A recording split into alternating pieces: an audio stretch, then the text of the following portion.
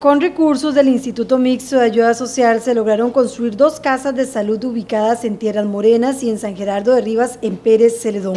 Dichas comunidades carecían de infraestructura adecuada, lo que ponía en riesgo la continuidad de las visitas periódicas por parte del equipo médico de la Caja Costarricense Seguro Social, obligando a los vecinos a invertir recursos y realizar largos recorridos en búsqueda de atención médica.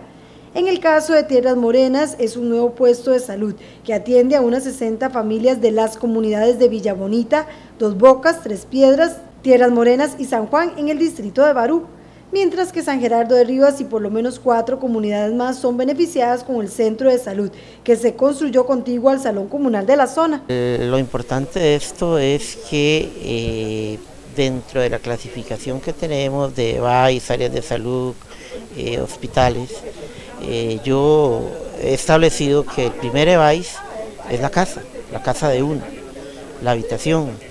Y de ahí parte todo. Entonces los puestos de visita periódica vienen a ser una unidad muy importante donde prevenimos las enfermedades.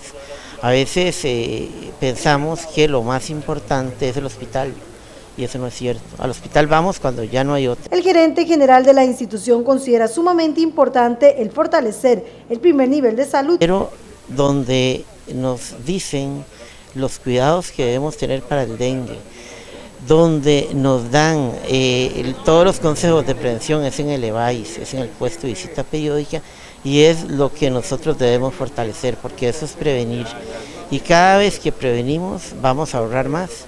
¿Por qué? Porque nos vamos a enfermar menos. El tema lo trató el jerarca durante una visita a Pérez Celedón.